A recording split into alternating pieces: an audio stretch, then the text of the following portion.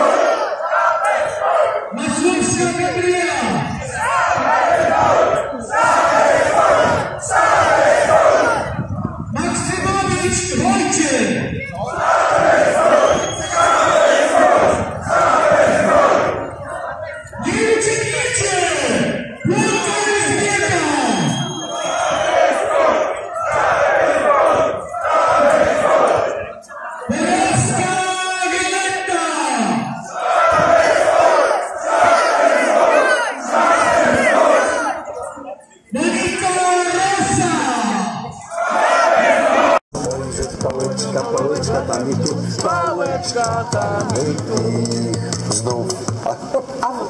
Szanowni, szanowni Pałeczką, pałeczką, pałeczką poszło w dół. Pałeczką, pałeczką, pałeczką, tam i tu. Pałeczką poszło w dół. Szanowni Państwo, stwierdzimy teraz na ile panowie i panie posłanki mają poczucie humoru, to jest rzecz pierwsza. Drugą rzeczą jest to, oprócz tego co powiedział Wojtek i zagrzewanie, wyrzucanie mocnych emocji do góry, które nam są potrzebne. rośnie sprawami, które przeciwko nam uchwalacie. Ta nienawiść będzie tak wielka, że będzie nas niosła jak wiatr żeglarza. Nienawiść nasza jest święta, dlatego że my się bronimy. Jesteśmy obrońcami. Obrońcy są święci.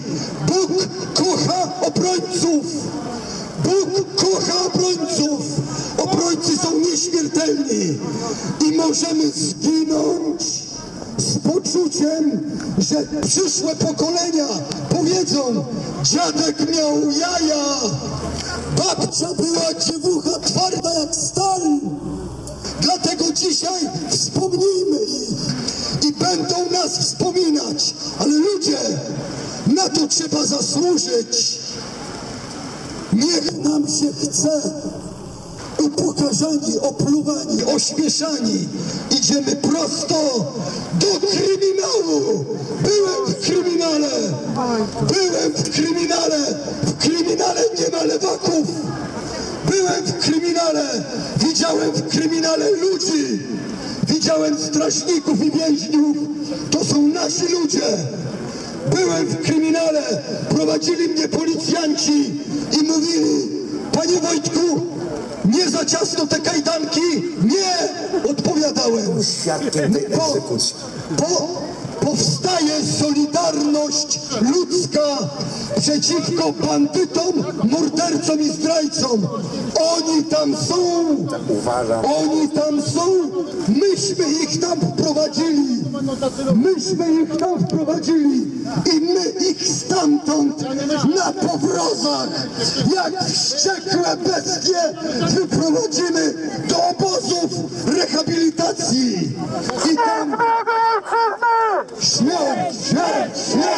Śmierć. I tam w tych obozach szczezną bez pracy, bo praca jest pojęciem pozytywnym.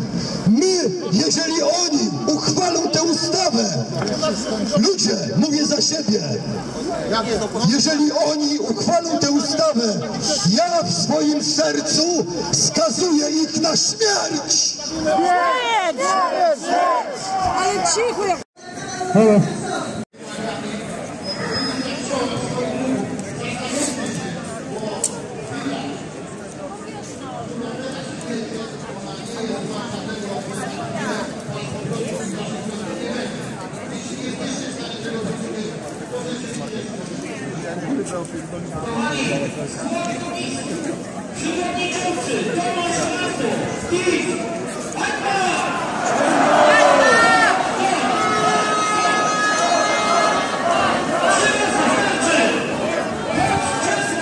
Zastępca przewodniczącego!